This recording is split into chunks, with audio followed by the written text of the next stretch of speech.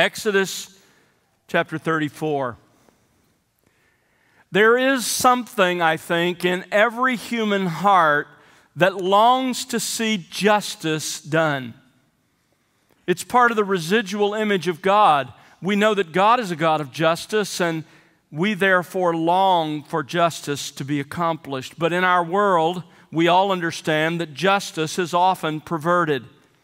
In the justice system, those with money, power, or influence certainly try to subvert justice. And sadly, injustice happens as a daily occurrence around us in the normal venues of life, in government, in schools, in workplaces, and even in families. If you doubt that, just ask yourself this question How many times in your life have you either heard or said, It's just not fair. It's just not fair.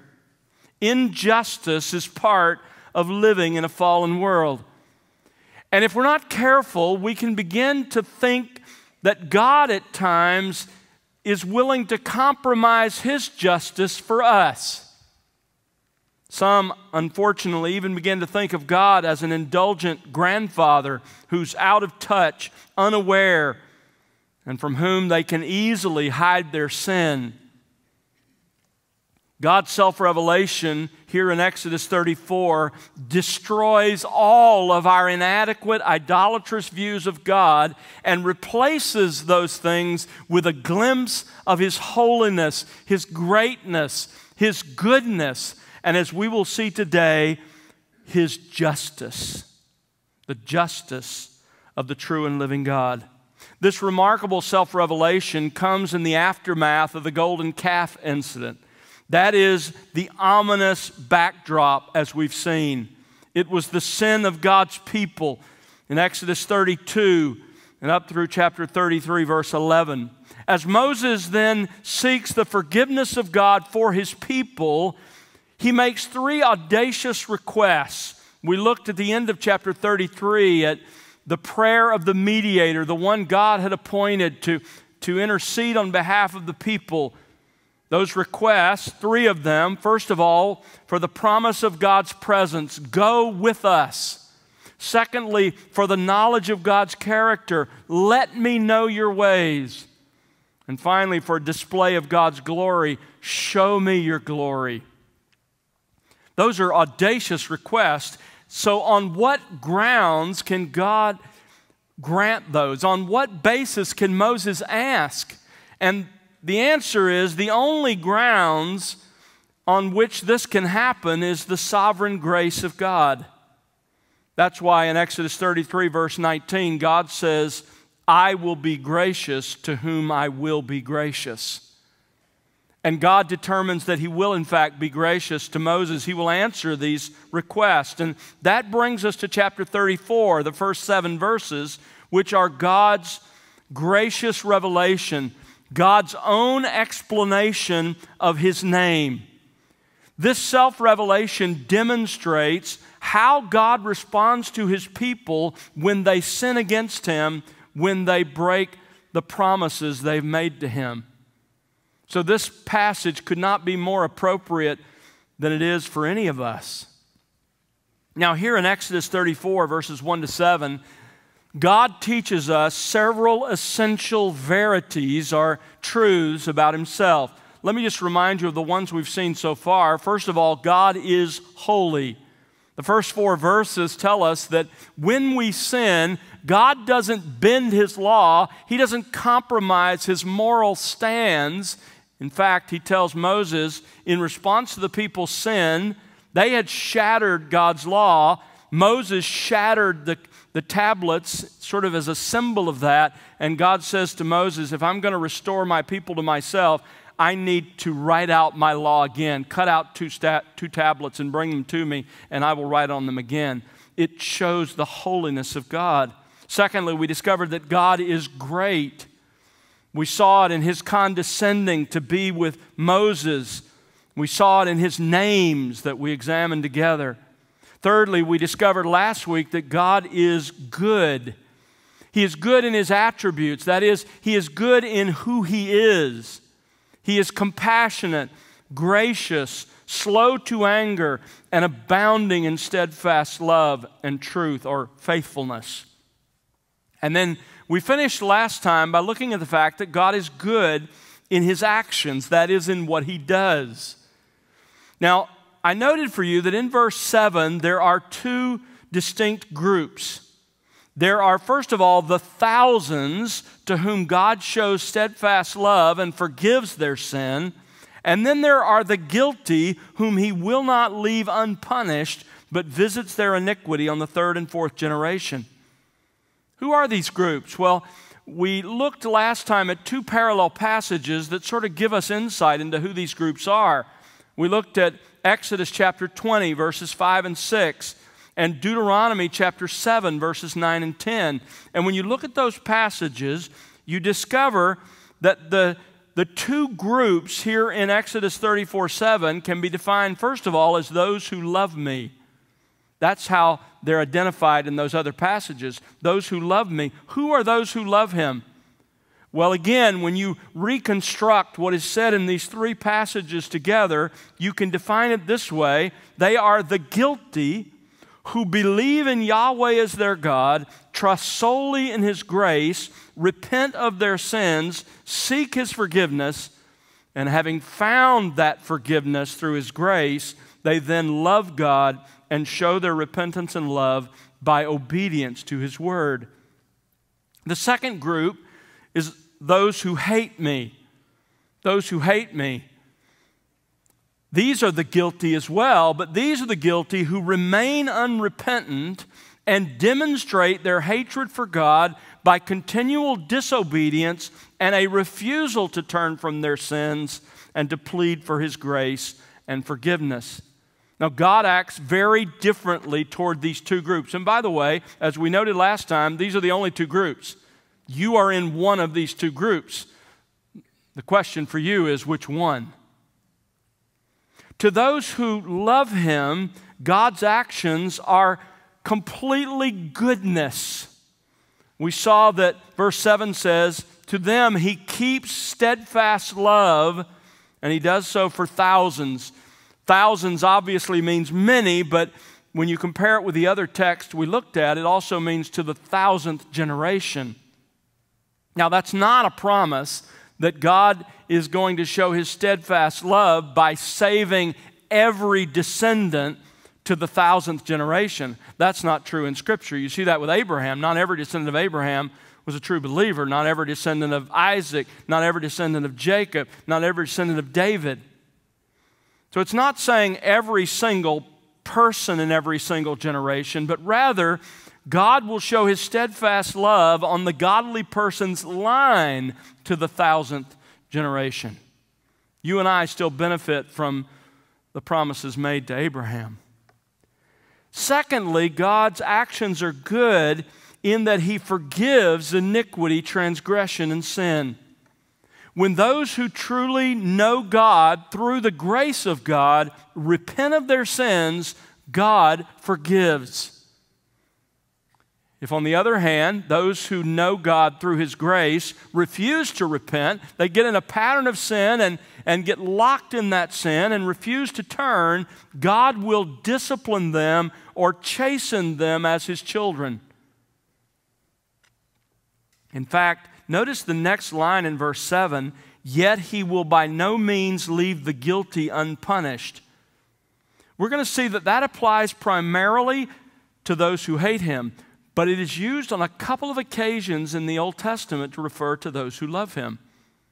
In Jeremiah chapter 30, verse 11, God expresses this to Israel. He says, I am with you to save you, for I will destroy completely all the nations where I have scattered you, only I will not destroy you completely. Listen to this. But I will chasten you justly and will by no means leave you unpunished. See how he connects this expression with his chastening or discipline of his own children, those who love him. And of course, the same point is made in the New Testament in Hebrews chapter 12, verse 3 and following. God says, If you're my son or my daughter, I'm going to discipline you like any good father would. So, for us who know God through Jesus Christ, when there's repentance, there is forgiveness. And if we refuse to repent for a time, then God will bring discipline and chastening into our lives. But today, I want us to move on to this next expression here in verse 7 and consider how God responds to those who hate him. And we discover in this a fourth essential verity about God. Not only is God holy, great, and good, God is also just. He is just. Look at verse 7. Yet he will by no means leave the guilty unpunished, visiting the iniquity of fathers on the children and on the grandchildren to the third and fourth generations. Those in the first group get undeserved grace. Those in the second group, those who hate him, get the justice they deserve. Now, God explains that his justice has two expressions here. Notice, first of all, yet he will by no means leave the guilty unpunished. God will justly and certainly punish those who do not love him for their sin. We saw this, remember, in Deuteronomy chapter 7. Listen to how verse 10 puts it God repays those who hate him to their faces to destroy them. He will not delay with him who hates him, he will repay him to his face. Jeremiah uses this expression to describe those who are stubbornly unrepentant. Now, God's statement here in verse 7 about himself means that he always is and he always acts in perfect, unwavering justice. This is the testimony of Scripture. If you go back to Genesis chapter 18, verse 25, you remember what Abraham said to God? He said, God, far be it from you that the righteous and the wicked are treated alike. Far be it from you. Shall not the judge of all the earth deal justly? That is, deal in justice. Deuteronomy 32 4, Moses in his great song says this of God His work is perfect, for all his ways are just, a God of faithfulness and without injustice. In Job 34, verse 12 Surely the Almighty will not pervert justice. Psalm 89, 14 Justice, O God, is the foundation of your throne. In other words, justice is the, is the base on which God's rule is built. Now, when the Bible says God is just, it means two things. First of all, it means that as the perfect lawgiver, He has given us His law. And secondly, it means that as the perfect judge, He measures us, each one of us, against that law and gives us what we deserve. He is just. Now, there's a massive problem with the justice of God. We, we want God, in one sense, to be just, just not just with us. Because God is just, understand this not one sin escapes God's notice. Have you ever thought about this? Let this drill into your soul because this is the testimony of Scripture. Not a single sin committed on this planet escapes the notice of God. God knows every sinful act, even the one we do our best to hide. Psalm 90, verse 8 You have placed our iniquities before you, our secret sins in the blazing light of your presence. Nothing, nothing is hidden to God. God knows every sinful habit. Proverbs chapter 5, verse 21 the ways of a man are before the eyes of the Lord, and he watches all his paths. The Hebrew word for paths is a reference to a person's lifestyle, to their patterns of behavior, to their habits.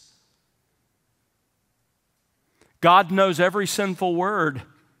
Matthew 12, verse 36 every careless word, singular that people speak, Jesus says, they shall give an accounting for it in the day of judgment, for every single careless or sinful word.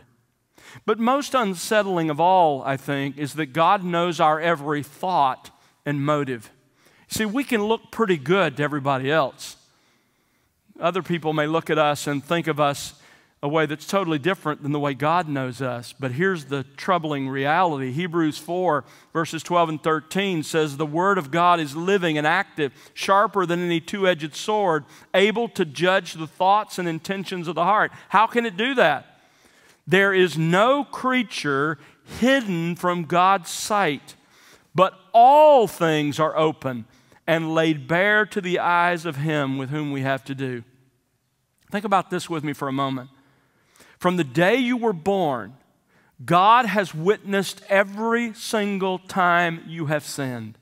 He has er, heard every sinful or careless word that has ever left your mouth. He fully knows every sinful thought, such as lust or anger or bitterness or jealousy, that you have ever entertained. And in the mind of God, in the perfect, omniscient mind of God, there is a perfect record of every single sin every single sinner has ever committed. In fact, in Revelation 20, it's described as the books in heaven being open. That is the divine record of the deeds of men and women.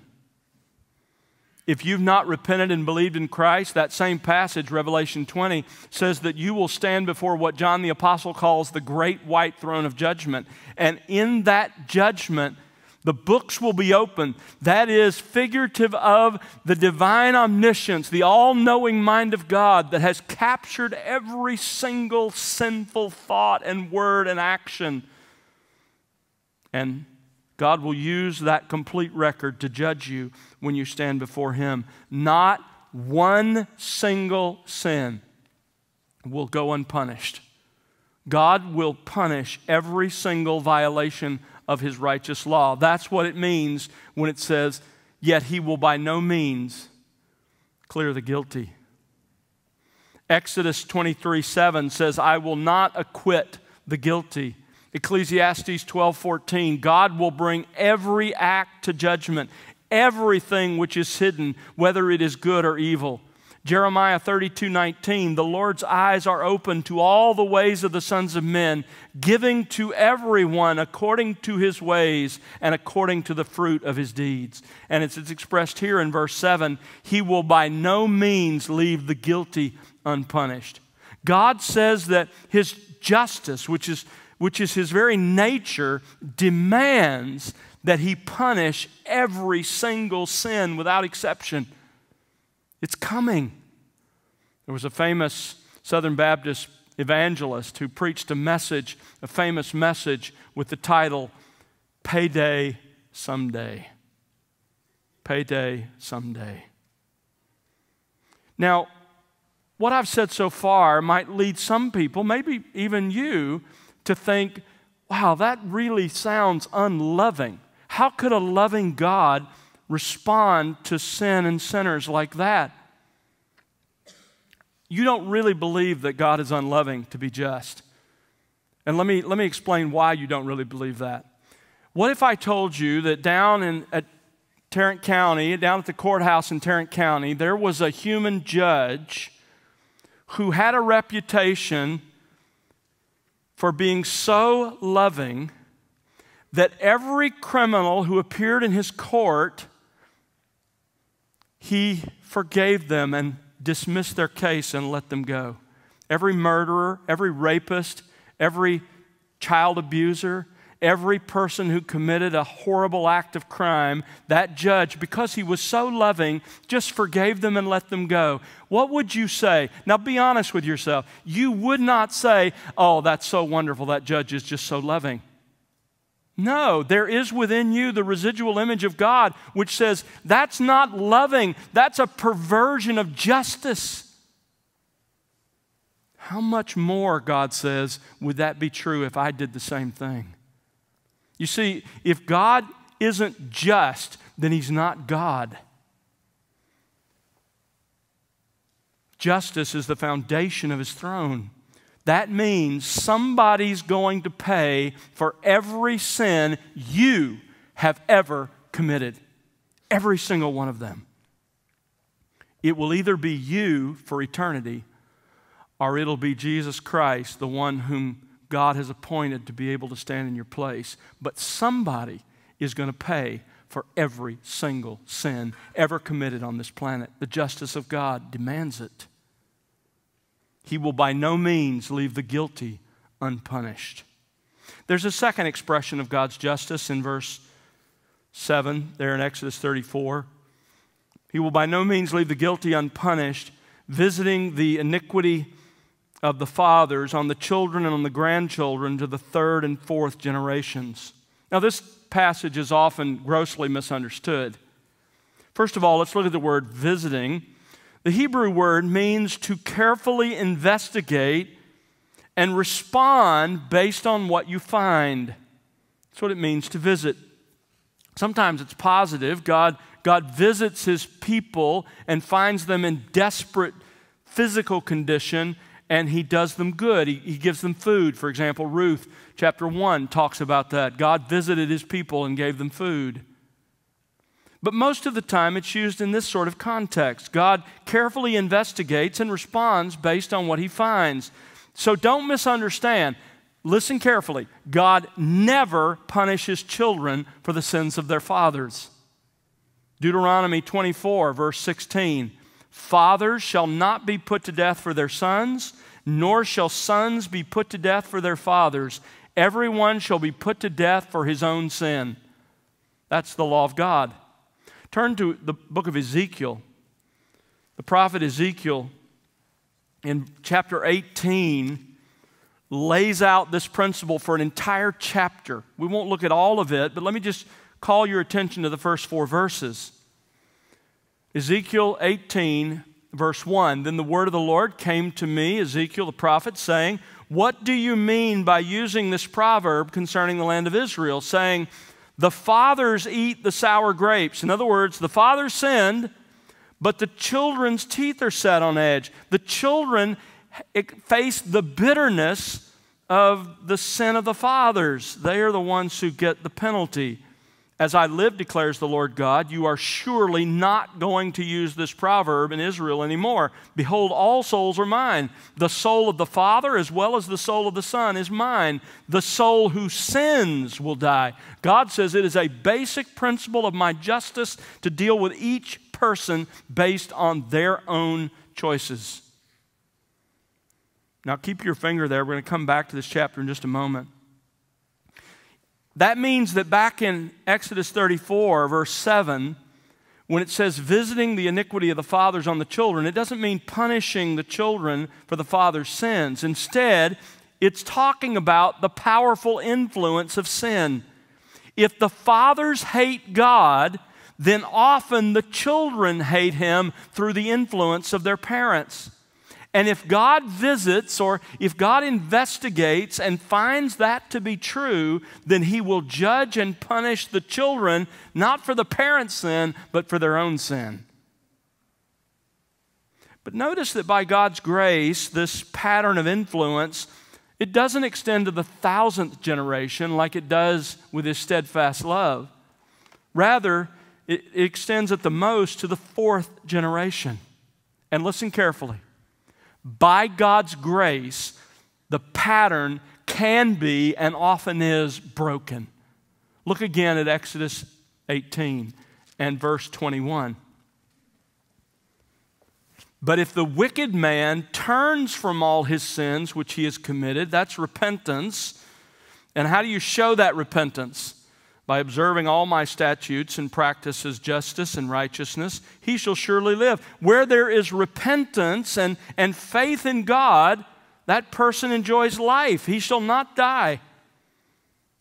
I think the reference here is both to not being put to death physically in Israel, but also to he will not die permanently spiritually. He will not face all that's involved in eternal death.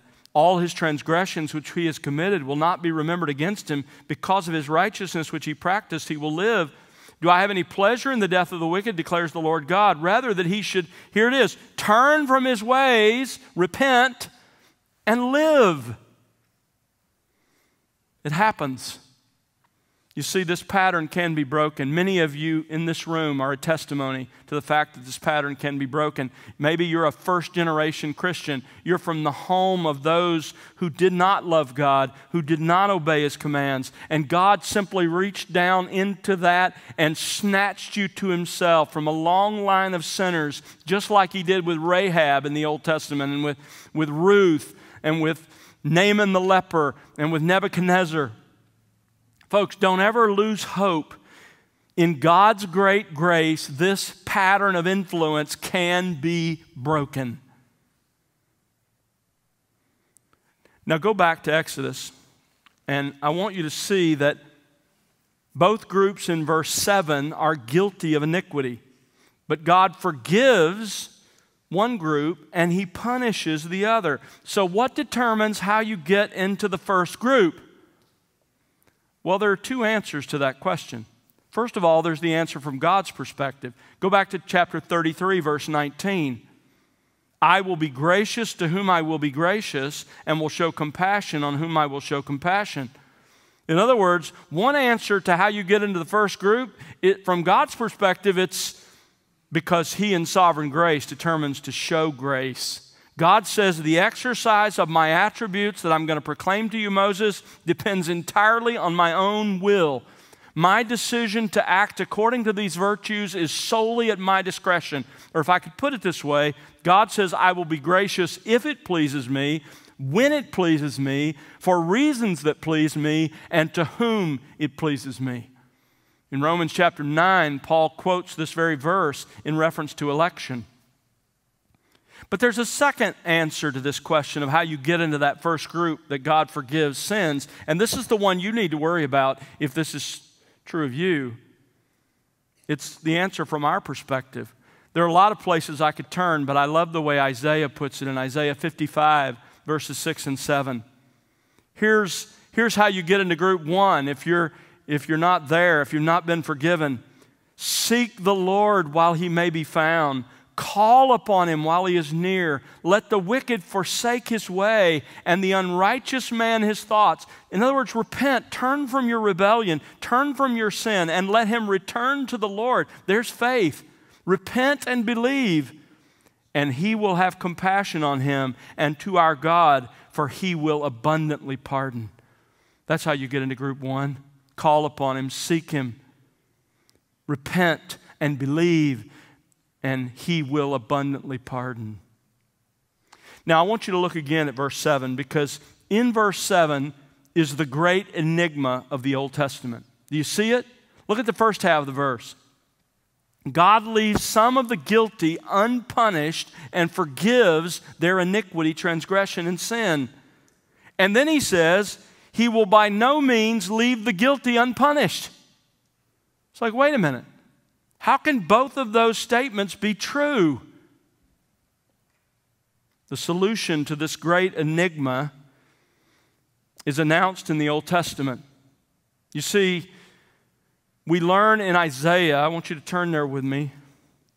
Isaiah chapter 53, we learn some 700 years before Christ exactly how this was going to happen, how this enigma could be answered, God would appoint a special servant who would represent his people, and God would impute or credit to that servant the sins of believers, and he would punish the servant in their place. Look at Isaiah 53, verse 4.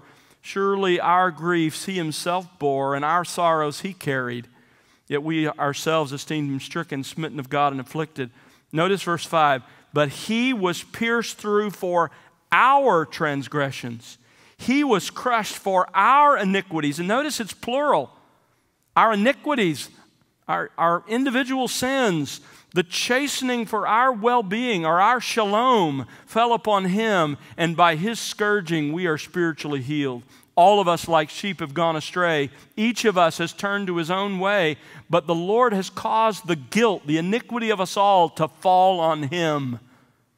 Verse 8, notice the second half of the verse. He was cut off out of the land of the living. He died. Why? For the transgression of my people to whom the stroke was due. Even though verse 9 says, he himself was perfectly morally pure. He had done no violence, there was no deceit in his mouth. But the Lord was pleased to crush him, verse 10, putting him to grief. And here's the key if he would render himself as a guilt offering. In other words, he would be the sacrifice bearing the sins of his people. Verse 11 says, By his knowledge, the righteous one, my servant, will justify the many as he will bear their iniquities. You see, God credited the sins of believers to the servant and punished him in their place. And then, verse 11 says, he takes the righteousness of his servant and he credits that to those he represented. That's the promise made in the Old Testament. Now, don't forget who was speaking with Moses back in Exodus 34. It's the eternal Son of God. It's the second member of the Trinity. And it was He who would become the special servant. In other words, He is the solution to the great enigma of the Old Testament. The riddle of the Old Testament is answered in a person how God could both forgive iniquity, transgression, and sin, and yet not leave a single sin unpunished. It's because of Christ. Turn over to John chapter 1. You're familiar with this passage. The eternal Word, verse 14, became flesh and dwelt among us, and we saw His glory, glory as of the only begotten from the Father. Notice this next expression full, He was full of grace and truth. You know where that comes from? Exodus 34 7. He was full of steadfast love and truth or faithfulness. And look down at verse 17. The law was given through Moses, but steadfast love and faithfulness were realized through Jesus Christ. He's the one who made it possible for God to express those things to us. How? Well, he said it himself, didn't he? In Mark chapter 10, verse 45, I've come to save by giving my life as a ransom in the place of many. 1 Peter 2:24 He himself bore our sins plural in his body on the cross so that we might die to sin and live to righteousness by his wounds you were healed. So folks God is holy, he's great, he's good and he's just. And that leads very briefly to the obvious response, the exaltation of God's person. We see it in verses 8 and 9 of our text. First of all, there's humility and submission.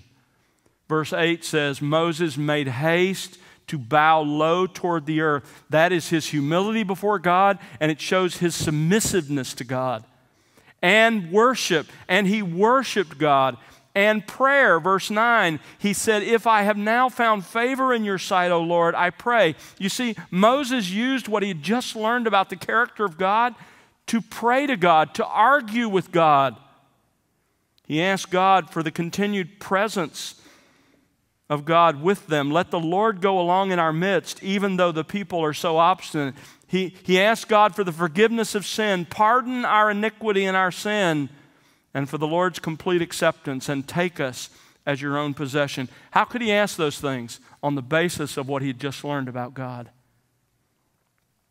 Listen, a just and holy God has witnessed every sin you have ever committed. He has a perfect record in his divine mind and he is bound by his unchanging character to punish every single sin without exception.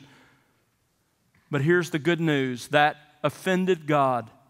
For all of those who will believe in his son, he took the pages of that record that represent every single sin you've ever committed and he tore it from the divine record. And Colossians 2 says he nailed it to the cross as the accusation against Christ. And Christ died on that cross to pay your debt and for every single sin because God is just. Not one sin in the history of the universe will ever go unpunished. The unrepentant, if you, if you simply refuse to take God's offer of grace in Christ, then you will pay for your sin forever. But praise God for us who are in Christ, all of our sins were paid in full. The debt was paid. And that is why communion is a celebration.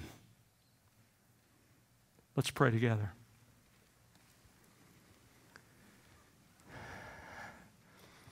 Our Father, we are amazed at your eternal plan of redemption. Lord, thank you for what it cost you, for what you were willing to pay to solve the riddle, the enigma of the Old Testament, which is really the, the enigma of your own character, that you are at one, both the forgiving God and yet the God who will leave no sin unpunished. Lord, we thank you that at the cross, your justice and your grace met in the person of Jesus Christ. And that on the cross you credited the sins of everyone who would ever believe in him to his record. And for those six dark hours, you treated him as if he had committed every single sin that every single believer has ever committed, so that you could forgive us.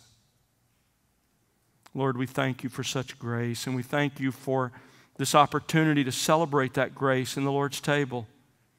And Lord, as we prepare our hearts now, we ask that you would forgive our sins. Lord, I pray that you would cleanse us, each of us individually, as we confess our sins to you.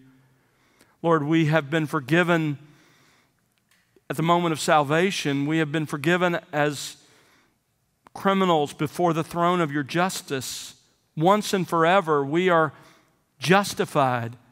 And yet, Father, as we walk through this world, we gather the, the dust of the world on our feet, and we need to have our feet washed as Jesus described it. That's what we come today asking you to do. We've already been bathed, but we need our feet to be washed. Cleanse us, O God.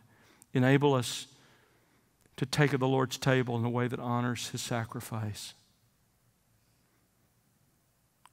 Our Father, each of us who has repented and believed in your Son has even now confessed our sins individually as you brought them to mind to you. Lord, we, we seek your forgiveness, we seek your cleansing. We want to be able to take of the Lord's table with clean hands and pure hearts. So, Lord, forgive us and cleanse us not because we deserve it, but because Christ paid it all. He paid for every single sin. And so, Lord, we come with confidence because of who He is and what He's done, asking for that forgiveness now. We thank you for it. In Jesus' name, amen.